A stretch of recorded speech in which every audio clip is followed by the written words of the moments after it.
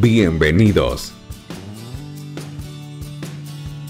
Estás en el mejor lugar, a la mejor hora. No hay nada como iniciar el día de la mano de Dios. Esto es la oración de la mañana.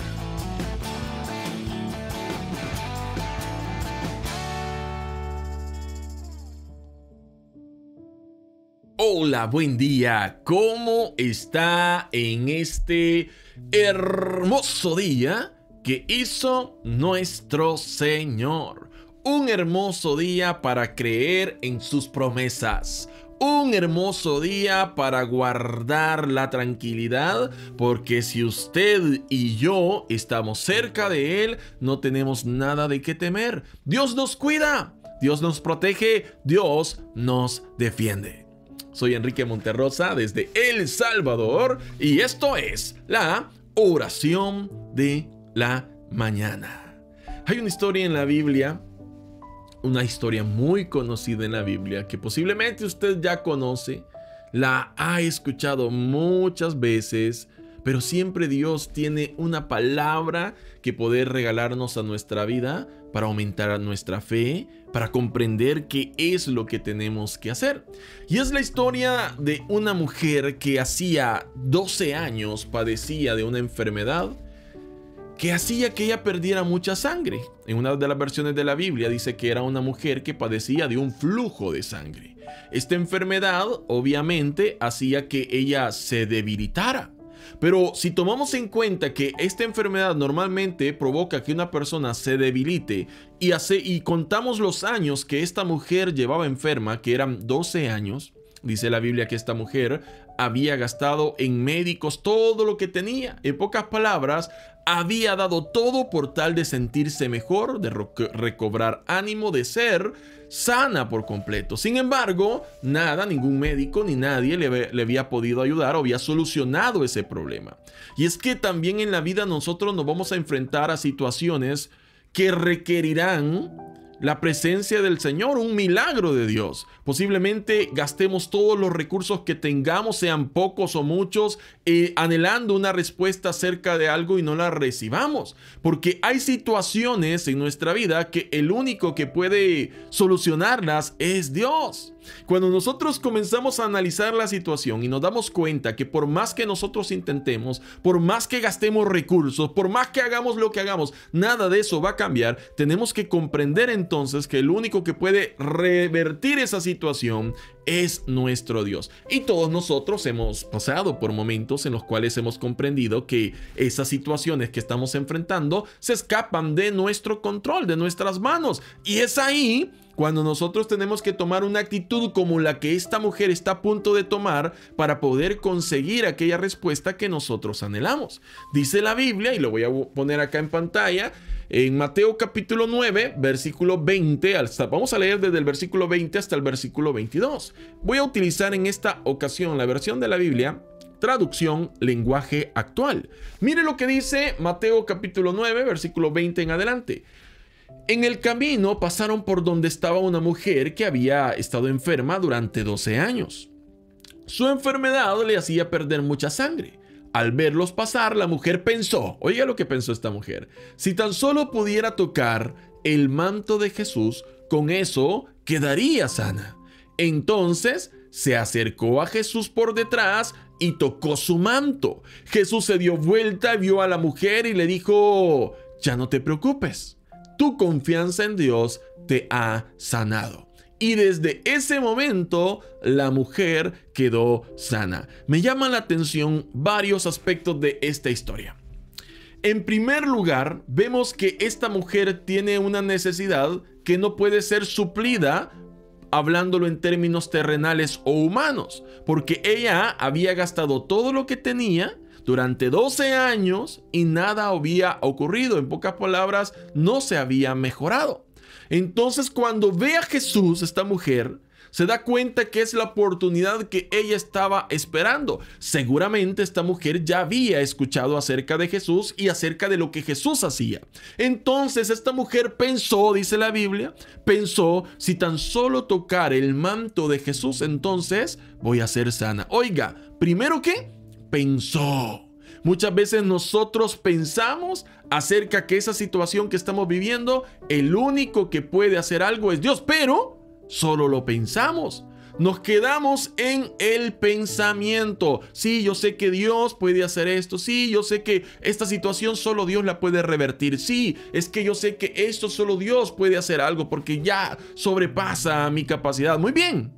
Qué bueno que considere que solo Dios puede hacer algo, como esta mujer que pensó, pero no se quede solo en el pensamiento. ¿Qué tal si esta mujer hubiese dicho, si tan solo toco el manto de Jesús seré sana? Pero no, mejor no creo que pueda tocarlo. No, pero es que no creo que Él permita que yo le toque el, manto. Si hubiese, si hubiese puesto obstáculos para ella misma, Solo se hubiese quedado en un pensamiento, en una idea, lo que ella tenía. Esta mujer llevó a la práctica lo que pensó. La idea que tenía la llevó a la práctica. Dice la Biblia que esta mujer, en otra, en otro de los de versiones y en otro eh, pasaje bíblico, porque está, este está en Mateo, que es parte de los evangelios sinópticos, donde está Mateo, Marcos y Lucas, que hablan de situaciones o de historias similares. Esta mujer se abrió paso entre la multitud, es decir, no solo se quedó con el pensamiento, con la idea de que si toca el manto de nuestro Señor Jesucristo, sino que se abrió paso entre la multitud y aquel pensamiento que tenía lo llevó a la práctica. Entonces dice la Biblia que esta mujer se acercó a Jesús para tocarlo. Esto es importante se acercó a Jesús para tocarlo.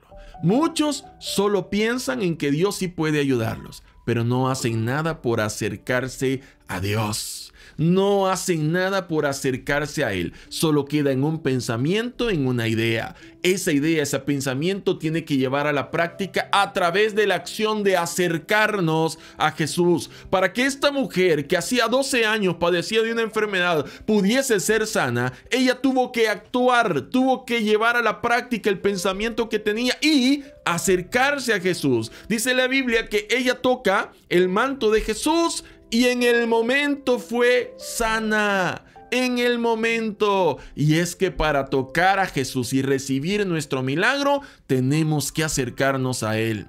No hay forma que podamos tocar a Jesús si no nos acercamos a Él. No hay forma que podamos tocarlo para recibir nuestro milagro si no nos acercamos a Él.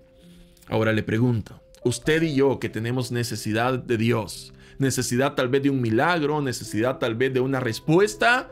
¿Qué estamos haciendo para recibir esa respuesta? ¿Lo estamos nada más pensando? ¿Sabemos que Dios tiene el poder para hacerlo, pero hasta ahí no llegamos? ¿O estamos acercándonos a Jesús? Llámese acercarse a Jesús aquella acción que me lleva a mí en mi vida espiritual a estar cerca de Dios. Obviamente no lo vamos a tocar hoy en día físicamente, pero sí lo podemos hacer de una forma en la que nosotros nos acercamos a Él, manteniendo comunión con Él, acercándonos espiritualmente a Él. ¿Y de qué manera yo me acerco a Dios? Cuando estoy leyendo su palabra, cuando oro, cuando yo dedico tiempo para Dios, así como este tiempo que usted está dedicando, lo está dedicando para Dios, está aprendiendo, fortaleciéndose espiritualmente, su conocimiento espiritual, espiritual está aumentando, pero no nos, no nos quedemos solo en el conocimiento, llevémoslo a la práctica. Entonces cuando Jesús siente que de él sale virtud, se da la vuelta y pregunta quién me tocó, ¿verdad? La gente le dice, pero hay muchos acá y tú preguntas quién te tocó. No, es que sentido que ha salido virtud de mí. Entonces esta mujer confiesa que ella lo ha tocado en otra de las versiones, ¿verdad? En otro pasaje. Pero Jesús le dice a esta mujer, y se lo voy a poner acá en pantalla, algo muy lindo que nosotros debemos... Eh, aprender, ¿verdad? También y del ejemplo de esta mujer. Y Jesús dice la Biblia, Mateo capítulo 9, versículo 22, en la versión de la Biblia, traducción lenguaje actual. Jesús se dio la vuelta, vio a la mujer y le dijo, ya no te preocupes, tu confianza en Dios te ha sanado. Ya no te preocupes, tu confianza en Dios te ha sanado. Oiga, esta mujer estaba preocupada por la situación que estaba pasando. al igual que usted tal vez hoy está preocupado o preocupada por la situación que está viviendo. Sin embargo, cuando usted se acerca a Jesús, cuando se acerca a Dios en su relación espiritual y personal con Él, Él le dice, ya no te preocupes más. Tu confianza en mí te ha permitido recibir lo que estás anhelando. Tu confianza en mí es que mire, no hay forma que nosotros podamos acercarnos a Dios si no es porque hay confianza en que en Él podemos encontrar lo que necesitamos, el descanso para nuestra vida el reposo para nuestra alma y la respuesta que nosotros necesitamos. ¿Qué está esperando para acercarse al Señor? ¿Cuánto más? Quizá usted sea una persona que diga, es que yo no me puedo acercar a Dios porque no soy digno, es que no me puedo acercar a Dios porque soy demasiado pecador, no me puedo acercar a Dios porque yo no lleno las expectativas de Dios. ¿Y cómo sabe usted cuáles son las expectativas de Dios? ¿Cómo sabe usted que Dios lo va a rechazar? ¿Cómo sabe usted que a Dios no le agrada que usted se acerque a Él? Jesús dijo, venid a mí, todos los que estáis trabajados y cargados, que yo los haré descansar. ¿Por qué no viene Jesús? ¿Por qué no se rinde hoy delante de Él? Dios quiere obrar en su vida. Dios quiere sanarlo. Dios quiere restaurarlo. Dios quiere hacer algo precioso en su vida. Pero para que eso ocurra, usted tiene que acercarse a Él acérquese a Él. Oramos en esta hora. Padre amado que estás en los cielos. Te doy gracias, mi Dios, en esta hora por este tiempo precioso que nos ha regalado y por la oportunidad que nos da de poder leer tu palabra y aprender de ella, Señor. Gracias porque a través de tu palabra nos damos cuenta, Señor, de que las necesidades que humanamente no podemos suplir, Señor, y que se escapan de nuestro control, podemos encontrarlas, Señor, suplidas en tu presencia. Ayúdanos, Dios mío, a acercarnos a ti. Ayúdanos, Señor, a quitar todo complejo espiritual de nuestra vida que nos evita, Señor, el querer, el, anhelar o el acercarnos a ti. Permite que seamos conscientes de que tú anhelas que nosotros podamos acercarnos a ti. Si hay personas este día que están escuchando este mensaje, Señor, que piensan que no son dignos de acercarse a ti, ahora habla a su corazón, toca su vida, Señor, y hazles entender que tú los estás esperando con los brazos abiertos, que tú quieres restaurarlos, que tú quieres, Señor, mejorar su vida, que tú quieres ayudarlos y quieres bendecirlos. Y es que Dios te llama porque te quiere bendecir. Si tú te quieres acercar a Dios en este momento, dile al Señor con tus propias palabras, Padre, perdóname mis pecados, límpiame, Señor, porque quiero estar cerca de ti. Acéptame en tu redil, Dios mío. Sé tú el Señor de mi vida. Entra a mi corazón y haz lo que tú quieras hacer en mi vida, Padre. Te pido perdón y hoy me rindo delante de ti, oh Señor. Padre, que cada una de esas personas que reconocen su necesidad de ti, que reconocen que necesitan acercarse a ti, que seas tú dándoles el dominio, que seas tú dándole, Señor, la voluntad, el dominio propio, que seas tú dándole, Señor, eh, todo lo que se necesita para que ellos dispongan su corazón para acercarse a ti, Señor. Tómalos de la mano y no los sueltes. Tómalos de la mano y haz algo maravilloso en sus vidas. Te pido por cada persona que hoy está escuchando este mensaje cada persona que representa una familia, que representa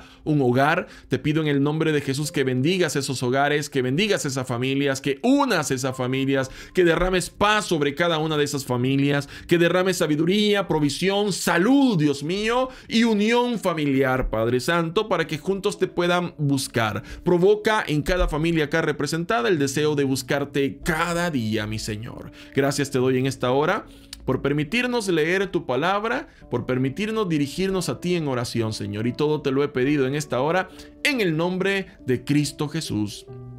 Amén. Y amén. Es hora de tocar a Jesús. Pero para poder tocar a Jesús debemos acercarnos a Él.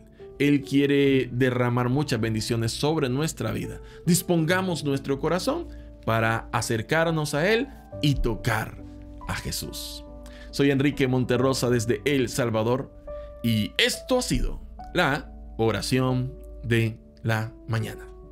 Que Dios bendiga tu vida y que Dios bendiga la vida de los tuyos. ¿Fue de bendición para tu vida este video? Entonces, coméntanos tu experiencia, dale me gusta y comparte este video con tus amigos. No te vayas sin suscribirte al canal y activar la campanita para enterarte de cuando subimos nuevos videos. Que Dios derrame muchas bendiciones sobre tu vida y sobre los tuyos. Saludos desde El Salvador.